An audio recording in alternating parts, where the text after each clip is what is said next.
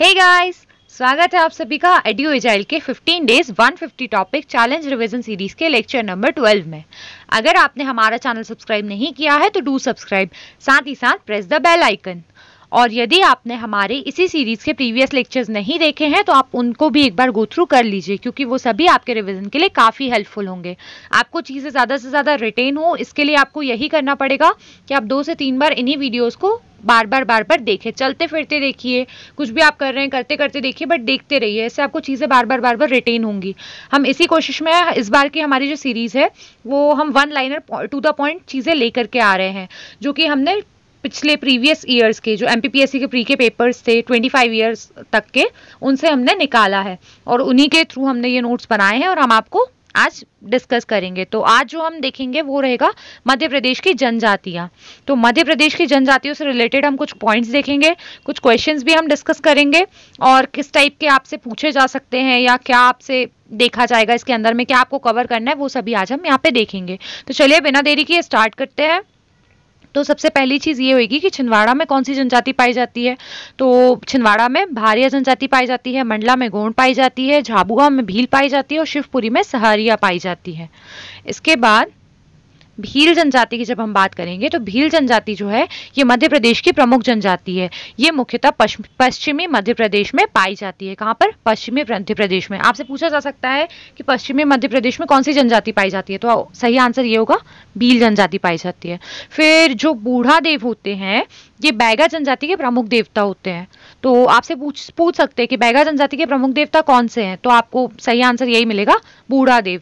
और भी आपको कोई ऑप्शन दे सकते हैं उसमें। But the correct option is Budha Dev इसके बाद साल वृक्ष में ये निवास करते हैं। इसको भी आपको ध्यान देना पड़ेगा, जो साल वृक्ष होता है, उसमें बूढ़ा देव का निवास होता है। ऐसा ये लोग मानते हैं। कौन? बैगा जनजाति वाले। फिर मध्य प्रदेश के झबुआ ज़िले में सर्वाधिक जनजाति निवास करती है। ये एक पॉइंट है। और कितने प्रतिशत निवास करती है? तो पचासी दशमलव छह सात से लेकर सतासी प्रतिशत तक ये निवास करते हैं। तो ये आपको थोड़ी सी स्टैटिस्टिक रहेगी जो आपको याद रखनी पड़ेगी। फिर जो हम भारिया जनजाति की बात करेंगे तो ये छिंदवाड़ा में मीस मतलब स्पेसिफिकली पातालकोट में ये पाई जाती है। भारिया जनजाति स्पेसिफिकली छिंदवाड़ा के पातालकोट में पाई जाती है। इसकी कुछ अन्य उपजातियाँ होती है, जैसे कि भूमिया हो गई और भुयार हो गई, पंडो हो गई या पैडो भी बोलते हैं। तो ये सभी इसकी उपजातियाँ होती हैं। इसके बाद हम गोंड जनजाति की बात करते हैं। तो गोंड जनजाति का जो सामाजिक जो हम बात करते हैं तो इसका सांस्कृतिक अध्ययन किसने किया था? तो प्रोफेसर श्यामचरण दुबे जी ने किया था, जो कि मानव शास्त्री थे। इसके बाद हम देखेंगे तो ये मध्य प्रदेश में जो भील जनजाति होती है, ये जनसंख्या के अकॉर्डिंग सबसे बड़ी जनजाति है। आपसे पूछा जा सकता है कि जनसंख्या के अकॉर्डिंग जब हम देखते हैं तो कौन सी जनजाति है मध्य प्रदेश में जो सबसे बड़ी है? तो उसका सही आंसर है भील जनजाति। तो इन्हीं पॉइंट्स को आप बार बार बार बार रिटेन करते रहिए, याद करते रहिए। दो से तीन बार देखते रहिए इसी वीडियो को। पीडीएफ आप हमारे टेलीग्राम चैनल पे जा करके, वहाँ से पीडीएफ लेकर के उसे भी बार बार रीड कर सकते हैं, जो भी आपको सही लगे। इसके बाद हम बात करेंगे टोडा जनजाति की। तो ये जो है तमिलनाडु में पाई जाती है। इसके बाद बैगा जो है, बैगा चक क्षेत्र मध्य प्रदेश की बैगा जनजाति का मुख्य निवास है, जो मुख्यतः डिंडोरी ज़िले के अंतर्गत आता है। बैगा चक्र क्षेत्र जो है, ये बैगा जनजाति का मुख्य निवास है। साथ ही साथ ही कहाँ पाया जाता है? तो ये डिंडोरी ज़िले के अंदर में आता है। इसके बाद हम नेक्स्ट देखते हैं। तो ये अबू माड़िया ये एक ऐसी जनजाति है जो कि गोंडों की उपज उपजाति कहलाई जाती है। इसका अर्थ होता है अज्ञात जंगली ऊँची भूमि, अज्ञात जंगली ऊँची भूमि। ये मुख्यतः छिंदवाड़ा, बैतूल, सिवनी, मंडला, पठारी ऐसे क्षेत्रों में पाई जाती है। फिर हम बात करेंगे भिलाला की। तो भिलाला जो है, ये भील की उपजाति है। इसे उजला भील या क्षत्रिय भील तथा लंगोट भील भी कहा जाता है। और इनके निवास की हम बात करते हैं तो अलीराजपुर, धार, बड़वानी ऐसी जगहों पे पाए जाते हैं। ये जनजाति सबसे ज़्यादा वहीं पाई जाती है। फिर हम बात करेंगे भगोरिया मेल की। तो जो भगोरिया मेल होता है, इसे भगोरिया हाट भी कहा जाता है। ये भील जनजाति का प्रसिद्ध प्रणय पर्व है, जो कि क्या होता है? होली के अवसर पर अधिकतर सेलिब्रेट किया जाता है। जो भगोरिया होता है, ये भीलों का नृत्य होता है। तो ये भगोरिया मेल और ये भगोरिया हाट, ये क्या है? एक पर्व है, जो कब मनाया जाता है? होली के अवसर पर। और यहाँ पर एक नृत्य किया जाता है, जिसे हम क्या बोलते हैं? भगोरिया नृत्य। ये भील लोग करते हैं। भीलों की जनजाति से करती है। इसके बाद हम बात करेंगे नेक्स्ट तो अब हम बात करेंगे सहरिया जनजाति की। तो ये जो जनजाति है, ये मध्य प्रदेश की विशेष पिछड़ी जनजाति है। विशेष पिछड़ी जनजाति कौन है? आपसे पूछा जा सकता है तो उसका सही आंसर होगा सहरिया जनजाति। फिर कोलेरियन परिवार की सहरिया जनजाति का मुख्य निवास ग्वालियर संभाग में है। कहाँ है? मुख्य निवास इनका ग्वालियर संभाग में। और ग्वालियर में ये भिंड, मुरैना, शिवपुरी, गुना ऐसी जगहों पर मिलते हैं और इनका जो निवास स्थान होता है उसे सर, सहराना बोलते हैं। इनके जो सहारिया जनजाति होती है, इनके निवास स्थान को सहराना कहा जाता है। ये आपको याद रखना पड़ेगा। आपसे पूछा जा सकता है कि सहराना जो है, वो किस मुख्य मतलब किस जनजाति के निवास को कहा जाता है? तो उसका सही आंसर होगा सहरिया। अब हम पारधी जनजाति के बारे में बात करेंगे। तो जो पारधी जनजाति होती है, ये वन्य प्राणियों के शिकार एवं अन्य अपराधों के लिए अधिक जानी जाती है। और जो पारधी शब्द है, ये पारत का तद्भव रूप है, जिसका अर्थ होता है अरवेरक। तो इसे आपको ध्यान रखना पड़ेगा। इसके बाद नेक्स्ट पॉइंट हम ये देखेंगे कि जो 2011 की जो जनगणना हुई थी, उसके अनुसार जो सर्वाधिक आदिवासी एसटी वाला जो जिला है, वो है धार। और जबकि जो आदिवासी हैं, ये बहुत से ज़िले में पाए जाते हैं, जैसे कि झाबुआ हो गया, बड़वानी हो गया, मंडला हो गया, छिंदवाड़ा हो गया, खरगोन हो गया। मध्य प्रदेश में जो अनुसूचित जनजाति होती है, इनकी संख्या होती है छियालीस। आपसे पूछा जा सकता है कि मध्य प्रदेश की जो अनुसूचित जनजाति है, उनकी संख्या कितनी है? तो आपको दे देगा बहुत से ऑप्शन जैसे चवालीस दे दिया, तिरालीस दे दिया, पचास दे दिया चालीस दे दिया तो सही ऑप्शन रहेगा छियालीस इसके बाद जब हम बात करेंगे नेक्स्ट तो सर्वाधिक जो अनुसूचित जाति है, इनकी परसेंट के अकॉर्डिंग देखेंगे, ये जिला कौन सा है?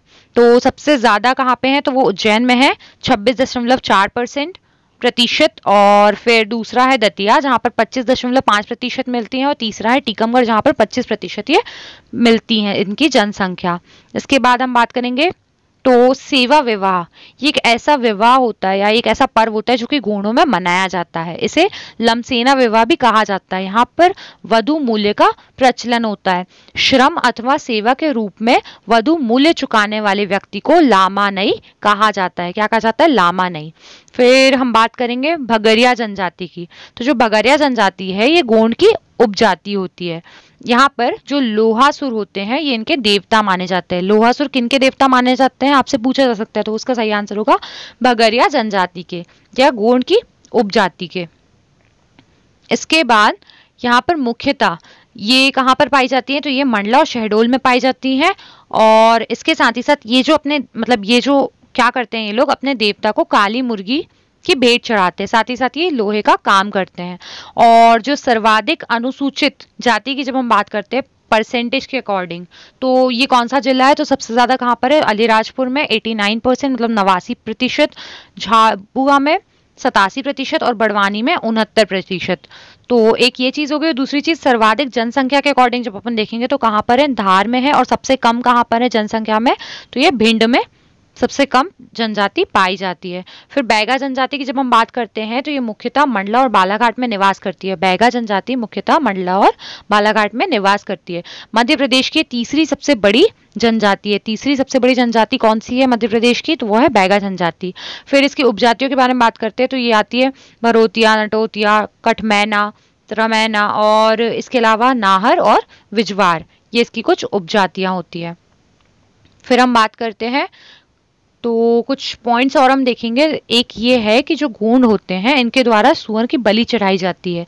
इसका प्रचलन है, जिसे कहा जाता है लारू कज।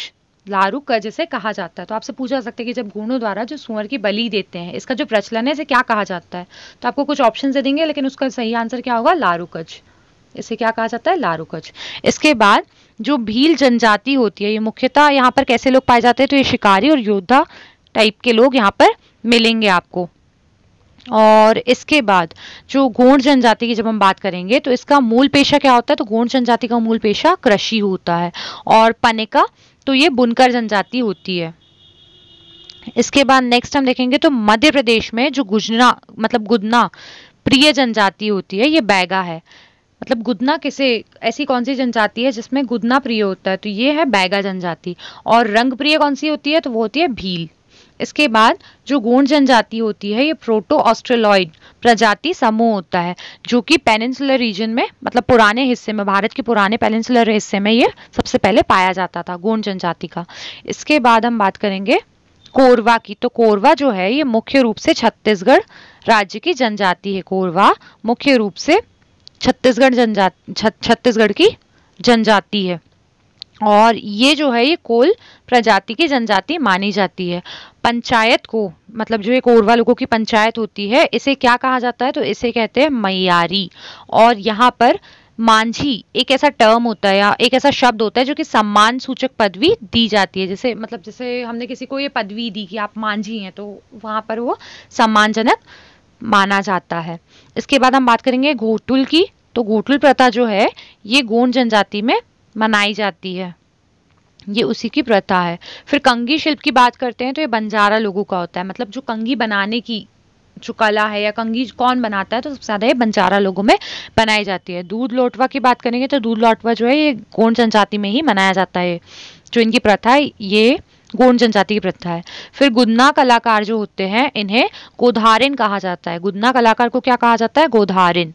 फिर सबसे कम अनुसूचित जाति वाला जिला जब हम बात करेंगे तो होता है झाबुआ, अलीराजपुर, मंडला और बड़वानी। अब हम बात करेंगे कोरकू की। तो कोरकू जो होते हैं, ये जनजाति जो है, नर्मदा और ताप्ती नदी की ताप्ती नदी के किनारे पाई जाती हैं। जो द्रविड़ भाषा होती है जो ये कोरकू शब्द है, ये द्रविड़ भाषा से आया है द्रविड़ भाषा से ये लिया गया है। और द्रविड़ भाषा के शब्द से लिया गया है तो इस ये कोरक, जिसका अर्थ होता है किनारा। तो आपसे पूछा जा सकता है कि किनारा जो है, किनारा के आधार पर कौन सी ऐसी जनजाति है जिसको दिया गया है? तो वो होगा कोरकू, जो कि नर्मदा और ताप्ती नदी के किनारे पे पाई जाती है। इसके बाद इसकी उपजातियों की बात करेंगे तो इसकी उपजातियों में आता है बंडोया, रूमा, मावसी मतलब मवासी, और इसके अंतर्गत दो आते हैं। एक आता है राय कोरकू और एक होता है पथरिया कोरकू साथ ही साथ पचमढ़ी में जो रहने वाली होती हैं, इन्हें एक अलग से नाम दिया गया है। जो पचमढ़ी में रहने वाली कोरकू जनजाति है, इसको नाम दिया गया है बंदोरिया। तो आपसे पूछा जा सकता है कि पचमढ़ी में रहने वाली कोरकू जनजाति जो है, उसे क्या कहा जाता है? तो उसका सही आंसर है बंदोरिया। अब हम नेक्स्ट देखेंगे तो जो भील होते हैं मतलब ये भील होते हैं इनके भीलों के मकानों को क्या कहा जाता है? तो इन्हें कू कहा जाता है और इनके निवास स्थान को क्या जा, कहा जाता है? तो ये फालिया कहा जाता है। इसी तरीके से जो बैगा होते हैं इनको इनके मकानों को बैगाचक कहा जाता है उनके निवास स्थान को पुरवा कहा जाता है। सहरिया की जब हम बात करेंगे तो इनके निवास स्थान को सहराना कहा जाता है इनके जो प्रमुख होते हैं मतलब जो भी इनके फैमिली के हेड मतलब हेड होते हैं उन्हें प्रमुख जो उनके होते हैं, उन्हें पटेल या सरदार का दर्जा दिया जाता है। उन्हें पटेल या सरदार करके बोला जाता है। फिर भारिया की बात करेंगे तो ये थाना मतलब इनका जो मकान होता है, उन्हें थाना कहा जाता है। कोल में बात करेंगे तो उन्हें टोला कहा जाता है और प्रमुख जो होते हैं इनके, उन्हें चौधरी कहा जाता है। बंजारा की बात करेंगे तो बंजारा में इन्हें टांडा कहा जाता है और प्रमुख जो होते हैं, इन्हें सरदार नायक कहा जाता है। अब कृषि को लेकर के जब हम बात करेंगे तो बीलों की जो कृषि होती है, इसे चिमाता कहा जाता है। बीलों की कृषि को चिमाता कहा जाता है। तो आपसे पूछा जा सकता है कि जो चिमाता है, ये किस मतलब किस जनजाति की कृषि को कहा जाता है? तो ऑप्शन सही ऑप्शन का आंसर क्या होगा? बील। इसके बाद गोंड के बारे में बात करेंगे तो इन्हें बारी कहा जाता है। इनकी कृषि को बैगा जो होते हैं, इन्हें बेवार या पोंडू कहा जाता है, इनकी जनजाति को, फिर इनकी कृषि को। और फिर भारिया की बात करेंगे तो इसे क्या कहा जाता है? तो इसे ठारिया, ठाहिया कहा जाता है। फिर कोण के प्रमुख देवता जो होते हैं, इनको जब हम देखेंगे तो ये कौन होते हैं? तो ये बूढ़ा देव होते हैं, जो कि मुख्य देवता माने जाते हैं। और ये माना जाता है कि ये साल के पेड़ में निवास करते हैं। फिर ठाकुर देवता तो जो ठाकुर देव हैं, ये भूमि के लिए अधिकतर माने जाते हैं। मतलब जो कृषक होते हैं इनके, वो भूमि पूजन के समय ठाकुर देव की पूजा करते हैं। और एक होते हैं दूल्हा देव, ये तीन इनके प्रमुख देव होते हैं। जबकि जब बैगा जनजाति की बात करते हैं तो यहाँ पर भी यही तीन है जो देव होते हैं। लेकिन एक हो गए बूढ़ा देव एक हो गए दूल्हा देव और एक हो गए ठाकुर देव लेकिन जैसे कि आपने देखा कि गोंड में ठाकुर देव किसके लिए पूजे जाते हैं भूमि के लिए। लेकिन यहाँ पर ठाकुर देव को किस लिए पूजन की जाती है उनकी? तो वो उनकी गाँव की रक्षा के लिए। माना जाता है कि वो गाँव की रक्षा करते हैं, इसलिए उनका पूजन किया जाता है। फिर हम नेक्स्ट बात करेंगे हल्म जनजाति की। जो हल्म जनजाति है, बालाघाट की जनजाति है बालाघाट में पाई जाती है, जो मतलब जोलर जनजाति की जोबर के भील जो हम बोलेंगे तो ये दही बेसिकली इनको काफ़ी वो प्रिय होता है और ये पुंजा दरिया इन्हें कहा जाता है। फिर गोंड जनजाति की बात करेंगे तो गोंड जनजाति के जो पुजारी होते हैं, इन्हें देवरी कहा जाता है। आपसे पूछा जा सकता है कि देवरी किन्हें कहा जाता है? तो ये गोंड जनजाति के पुजारी को कहा जाता है। फिर बैगा जनजाति जो होती है, स्वयं को द्रविण के वंशज मानती है। एक चीज़ आपको याद रखने की ज़रूरत है कि बैगा जो होती है, बैगा जनजाति और गोंड जनजाति, ये दोनों ऐसी जनजाति हैं जो स्वयं को द्रविण के वंशज मानती हैं, किनके? द्रविड़ के वंशज मानती हैं। इसके बाद संविधान की पांचवी अनुसूची में आदिवासी क्षेत्रों को कवर किया गया है। मतलब जो संविधान है, उसकी पांचवी अनुसूचित, अनुसूची में आदिवासी क्षेत्र जो है, इन्हें कवर किया गया है। तो आपसे पूछा जा सकता है कि संविधान की कौन सी अनुसूची है जिसमें आदिवासियों को कवर किया गया है? तो ये क्षेत्र कौन से होंगे? तो ये पांचवी अनुसूची के अंतर्गत कवर किए गए हैं। फिर कोरखुओं की जब हम बात करेंगे तो कोरखुओं में पीडीआर और भूमिका, ये जो दो होते हैं, इनको अति सम्मानीय दर्जा दिया जाता है या इन्हें अति सम्मानीय दृष्टि से देखा जाता है। इसके बाद जो अपहरण विवाह होता है, ये किनका है? तो अपहरण विवाह जो है, भील लोगों का है। और जो गोल गधेड़ो होता है तो गोल गधेड़ो ये होली के अवसर पर मनाया जाता है, जहाँ पर जो लड़कियाँ होती हैं, गोल घेरे में नाचती हैं। एक गोल घेरा होता है, जिसके अंदर लड़कियाँ नाचती हैं, और इस पर्व को क्या कहा जाता है? गोल गधेड़ो। ये हमेशा होली के अवसर पर मनाया जाता है।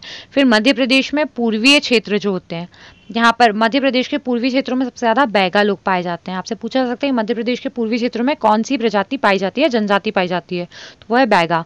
फिर जंगलियों को भी जंगली। ये किसे कहा गया है? ये नाम किसे दिया गया है? तो ये नाम दिया गया है भारिया जनजाति को। तो आपसे कहा जा सकता है कि जंगलियों को भी जंगली। ये किसे दिया गया है नोटेशन तो ये आपको सही ऑप्शन में, सही ऑप्शन क्या है इसका? तो वो है भारिया जनजाति। फिर हम बात करेंगे कि जो बूढ़ा देव है तो जो बूढ़ा देव है, इन्हें मुर्गे, नारियल और मदेरा चढ़ाई जाती है। बूढ़ा देव को क्या क्या चढ़ाया जाता है? मुर्गे, नारियल तथा मदीरा। मध्य प्रदेश के दक्षिण जिलों में मुख्यतः कोरकू जनजाति पाई जाती है। देखिए मध्य प्रदेश के पूर्वी जिलों में कौन पाए जा रहे थे? तो पूर्वी क्षेत्रों में बैगा जनजाति पाई जा रही थी। लेकिन जब दक्षिणी क्षेत्र की बात करेंगे तो वहाँ पर मुख्यतः कोरकू जनजाति पाई जाती है। उत्तर पश्चिमी जब हम बात करेंगे तो उत्तर पश्चिमी में कौन पाई जाती है? तो ये सहरिया जनजाति पाई जाती है। पारधी जनजाति जो है, ये बेसिकली स्पेसिफिकली भोपाल की ओर ही मिलती है, जो कि रायसेन में है। अधिकतर रायसेन में ये लोग पाए जाते हैं, पारधी जनजाति। फिर हम बात करेंगे कोल की, पंचायत की। तो जो कोल की पंचायत होती है, इसको गोहिया कहा जाता है। कोल की पंचायत को गोहिया कहा जाता है। तो गोहिया किसे कहा जाता है? तो आपको सही ऑप्शन में क्या मिलेगा? कोल की पंचायत को। इसके बाद मध्य प्रदेश में जो बेसिकली अधीम है, या मध्य प्रदेश में जो अधीम जाति है, इसका कल्याण विभाग है। एक कल्याण विभाग बनाया गया था, जिसका नाम था अदिम जाति कल्याण विभाग। ये कब बनाया गया था? तो ये उन्नीस में बनाया गया था। बाद में इसका नाम बदलकर क्या रख दिया गया था? आदिवासी एवं हरिजन कल्याण विभाग। आदिवासी एवं हरिजन कल्याण विभाग इसका नाम रख दिया गया था उन्नीस सौ पैंसठ में। तो जो कोल की पंचायत होती है, उसे क्या कहा जाता है? तो उसे कहा जाता है गोहिया। कोल की पंचायत को गोहिया कहा जाता है। फिर मध्य प्रदेश में अदिम जाति कल्याण विभाग है। मध्य प्रदेश में एक अध्ययन जाति कल्याण विभाग है, जिसकी स्थापना कब हुई थी? उन्नीस में। उन्नीस में। बाद में इसका नाम बदलकर आदिवासी एवं हरिजन कल्याण रख दिया गया था, उन्नीस में। तो आपको कंफ्यूज नहीं होना, जब वो पूछेंगे कि आदिम जनजाति या आदिम जाति कल्याण विभाग कब बनाया गया था तो आप उन्नीस सौ पैंसठ नहीं, वो उन्नीस में बनाया गया था। लेकिन बाद में इसका नाम बदलकर आदिवासी एवं हरिजन कल्याण विभाग कर दिया गया था।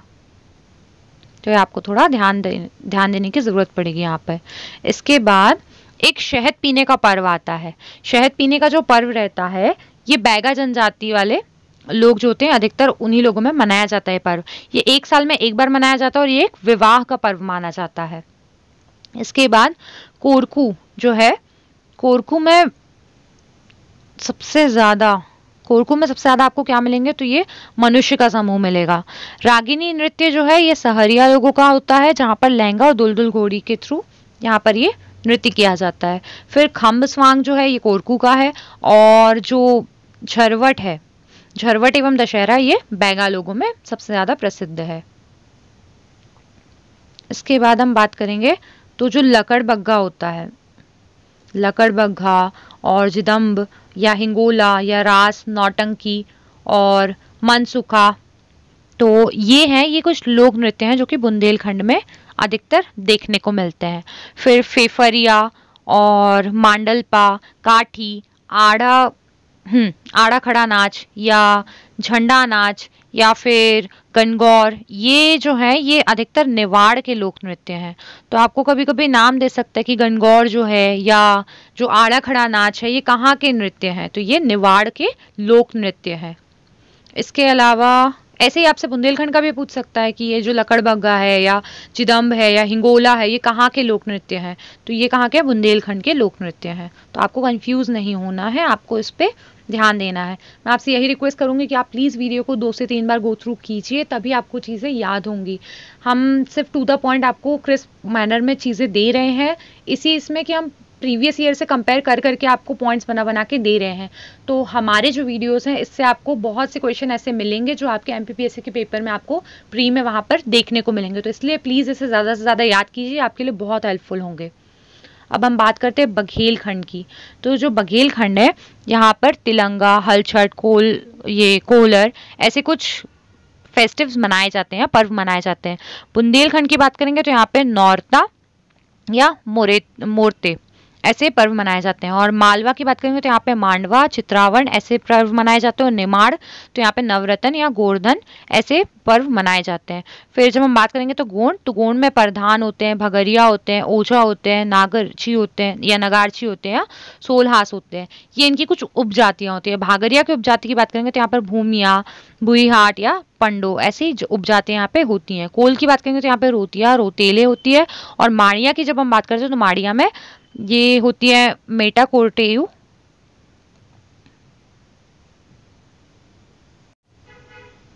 फिर हम बात करेंगे कोल की तो कोल की कौन सी उपजातियाँ होती है? तो एक होती है रोतिया, एक रोतेले। माड़िया की जब हम बात करेंगे तो माड़िया में तीन होती हैं। एक होती है मेटाकोइनोर, एक होती है अलुम माड़िया और एक होती है दंडामी। ये तीन हो गई जो इसकी उपजातियाँ होती हैं। इसके बाद हम कुछ एक आज हमारा लास्ट पॉइंट जो आज हम देखेंगे वो ये है कि जो विल्मा होता है, ये एक लोक नृत्य है जो कि बैगा लोगों का होता है। तो आपसे क्वेश्चन में पूछा जा सकता है। एक बार एमपीपीएससी के प्री में पूछा भी गया था कि जो विल्मा लोक नृत्य है वो किसका है, किस जनजाति का है? तो वहाँ पे बहुत से ऑप्शन दिए हुए थे तो उसमें से सही आंसर था बैगा। बैगा जनजाति का ये लोक नृत्य है। इसके बाद छेड़ता की बात करेंगे तो ये मुड़िया का होता है, विनाकी तो ये भोपाल के कृषक का होता है, चरकोटा की बात करेंगे तो कोरकू लोग का होता है, और साथ ही साथ रागिनी की जब हम बात करते हैं तो ये ग्वालियर के जनजाति का होता है। तो ये थे आज के कुछ इंपॉर्टेंट पॉइंट्स हमारी जनजातियों से रिलेटेड जो कि मध्य प्रदेश में पाई जाती हैं। मैं आप सभी से यही रिक्वेस्ट करूँगी कि प्लीज़ वीडियो को बार बार बार बार गो थ्रू कीजिए। चीज़ों को आपको रिटेन करना है ज़्यादा से ज़्यादा। हम इसी कोशिश में है कि हम आपको ज़्यादा से ज़्यादा चीज़ें याद करवा पाएँ और आपके ज़्यादा से ज़्यादा सिलेबस को कवर कर पाएँ कम से कम टाइम में। रिविज़न करते रहिए मॉक टेस्ट लगाते रहिए। साथ ही साथ, हमारे टेलीग्राम के लिंक के थ्रू आप जा करके हमारे टेलीग्राम से टेलीग्राम ग्रुप से आप ये पीडीएफ भी ले सकते हैं और आप उसे बार बार पढ़ सकते हैं।